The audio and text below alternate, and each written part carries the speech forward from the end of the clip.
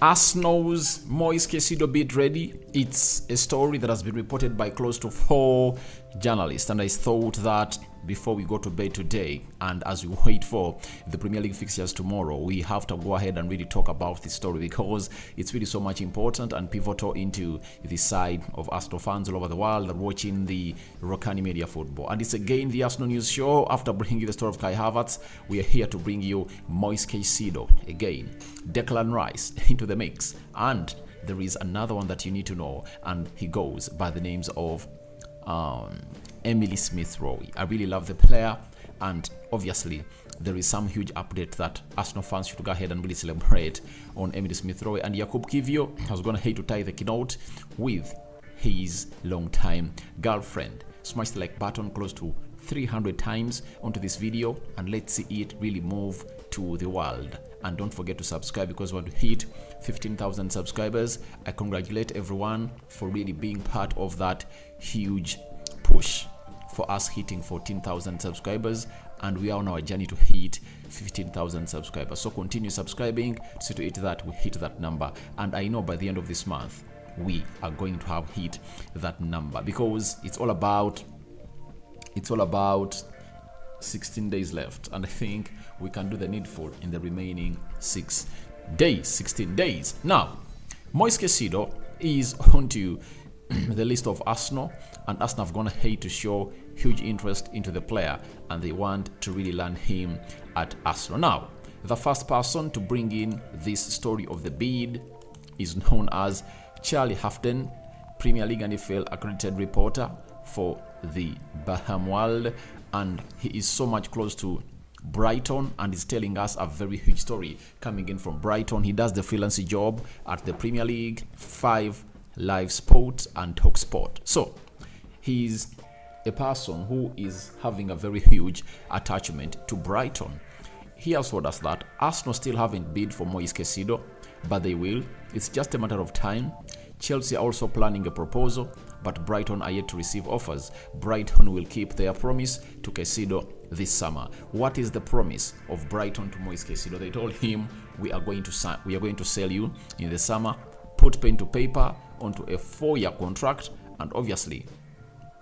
We will let you go in the summer, and that was a promise given to Moise Caicedo by Mr. Bloom, the owner of Brighton, and the coach Roberto De Zerbi and preparing a bid preparing a bid is what Arsenal really having in through for Moise Caicedo, that 21-year-old Ecuadorian that has gone ahead to fire all cylinders at Brighton this season. After that, we got another story coming in from um, Simon Phillips. He's a Chelsea fan and obviously does it for the Talks, Talk Chelsea and Sidian Talk. Very close sources at Chelsea and he has gone ahead and really told us that um, a source has informed that Arsenal have a bid prepared for Moise Caicedo with an 80 pound million offer being touted. Arsenal want to sign Moise Caicedo on top of Declan Rice and are financially in a terrific place to pull both deals off. Arsenal are serious this summer and are expected to spend 200 million pounds. So Arsenal want to go ahead and obviously get this deal over the line. That is a deal of Moise Caicedo, and they are even willing to spend 200 million pounds plus. And if I told you to add Declan Rice 100 million pounds, Moise Caicedo 80 million pounds, that is 180 million pounds. Add on Kai Havertz 50 million pounds, that is 230 million pounds. And remember, they are in they are in search of a right back. Maybe when they get in Moise Caicedo, they won't go in for right back because they've experienced him play at the right back of Brighton towards the end of the season. So, as it stands, Arsenal can spend 200 million pounds plus. As I told you that they are willing to offer him 200 million pounds and the money of sales if you add on it, Arsenal can find itself in a position of spending 300 million pounds. Players to be sold are really many. Uh, Folarin Balogun, with the desire of Kai Havertz, you better know that he's not in the plans of the manager, meaning that Kai Havertz is coming in through as a third striker at Arsenal. And they can sell him at like 40 million pounds. KNTN 30, that is 70. Add on Granit Xhaka 15 million pounds, 85 million pounds. Um, you go to Sambi Albert Lokonga, they can get like 30 from him. That is 115. Add on Nuno Tavares, expecting close to 20 million pounds from him. So there is the Arsenal is having a very huge list of players to sell. I think I should combine that video of 10 players that Mikel Arteta is willing to sell out of Arsenal this season. I think they'll come in through and obviously make what we call perfect sense for that. And then we got the Evening Standard. The Evening Standard coming in through and obviously giving us a very hot update about Declan Rice and Moise Caicedo. they told us that with Declan Rice seemingly on his way, Arsenal are now seemingly ready to turn to another bid, to another big name midfield target. The Ecuadorian is high onto Mikel Arteta's list, with Gunners ready to make their move for Moise Caicedo once they wrap up their deal for Declan Rice. Now, looks like Arsenal are willing to go in for Moise Caicedo, but it will be dependent on how much they've gone ahead to spend onto Declan Rice. And with the with with the deal of Kai Havertz coming in through, it's really going to be so much determinant on what Mikel Arteta wants.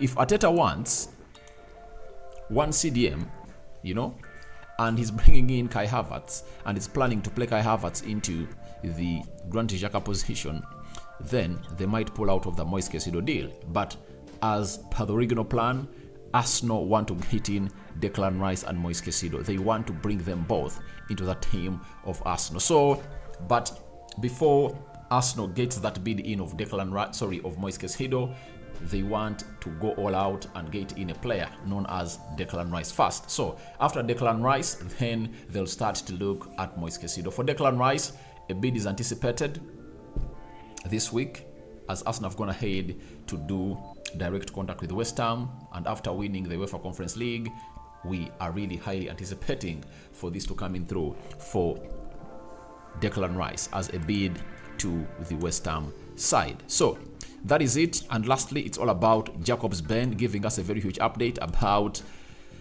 Moise Caicedo. And he said, the expectation is that both Chelsea and Arsenal will try again.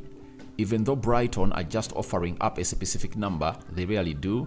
My understanding is it's going to be my understanding it my understanding is it's going to take a starting point of 70 million pounds guaranteed but at least 10 million pounds in add-on. So he's trying to really reveal us to the exact deal that can seduce brighton to really late or offload. Moise Caicedo to either Arsenal or Chelsea. It's all about guaranteed fees of 70 million pounds plus 10 million pounds of add-ons that can really turn on the team of Brighton to sell the player. So let's wait and see how that happens. As I brought you a story yesterday that Moise Caicedo wants to play Champions League football. That's it. A team that comes without Champions League football won't be entertained into this deal. That's why Arsenal have gone ahead to knock out Chelsea into this.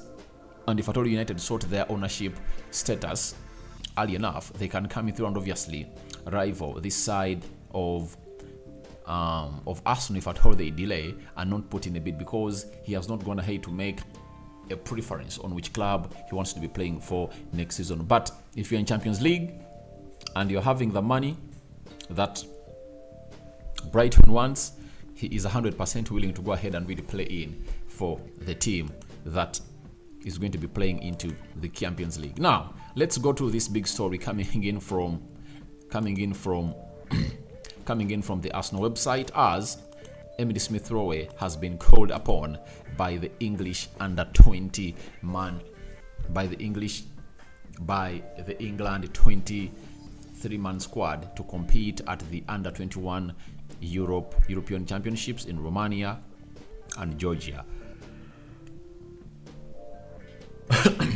About that. Later next month into July. So having called him that means he is really a very lucky player, having gone ahead to have having gone ahead to have a very bad season. as Emile Smith Rowe and he was being troubled by lots of injuries.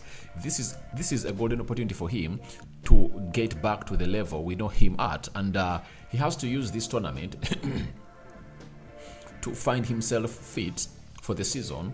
And I think after this tournament, he'll join Arsenal into the American tour where they're going to be playing at. So, what a chance for him to really find himself fit. But he has been training in Dubai with O'Shea and other trainers to see to it that he finds himself back to the fitness levels that he wants himself to be on. And when you look at the level at which he has found himself to be playing at for the previous seasons, he has been an elite player that Mikel Arteta is a big fan of, and he doesn't want to really put him as a weight on the deal of Declan Rice. Remember, West Ham wanted to really get in Emile Smith Rowe on top of the money that Arsenal can really get them to see to it that they really get a deal over the line.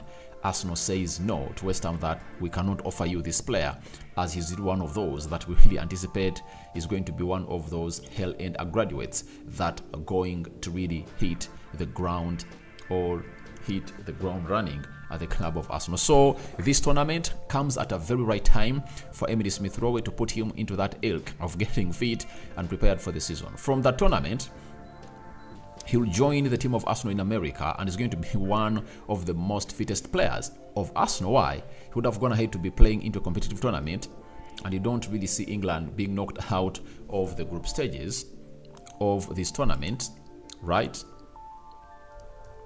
And um, when you look at the fixtures, let us see under 21s.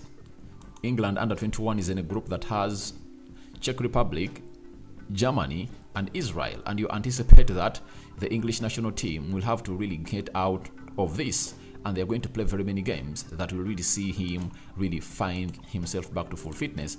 And when he gets himself back to full fitness, it will be music to ears of Mikel Arteta as he wants him to to get instilled into the team of Arsenal as up no sooner he joins them in America on the preseason. That is all about Emile Smith Rowe, a huge boost coming in from his camp that he's going to find himself in a position of really playing in the under 21. He's 22 years of age, but he's guaranteed to be put into that squad because they they give you a chance to bring in like three players who are really above that age. And lastly, let's talk about Jakub Kiwior, the Arsenal centre back, as we are congratulating him upon his recent success of really tying the knot. Massive congratulations to Arsenal defender Jakub Kiwior and his partner Claudia on their marriage over the weekend. Wishing both of them a lifetime of happiness. That is Jakub Kiwior, And let me show you how the two really looked when he was really landing a kiss onto the lips of Claudia, that is Jakub Kiwior, and he found himself in a position of really tying the knot with a girlfriend that has been with for some bit of long time, and they were in Poland. Now, your thoughts onto Arsenal's Moise Caicedo bid ready after Declan Rice after Declan Rice deal done? What do you make about it? Would you like Arsenal to go in for Moise Caicedo first or Declan Rice first? And secondly, Emily Smith Rowe called up for the under 21 23 man squad to play in the under 21 Euros very soon, starting next month. Do you think it's going to help him to build up on his fitness to go ahead and be the challenge for his position no sooner he returns from that side? And lastly, what do you make about Jakub Kivio tying knot with a girlfriend down in Poland? Sign out for now. See you later. And I cover you all in the precious blood of Jesus Christ. May the living true God bless you abundantly. Me out for now. See you later. Ciao, ciao.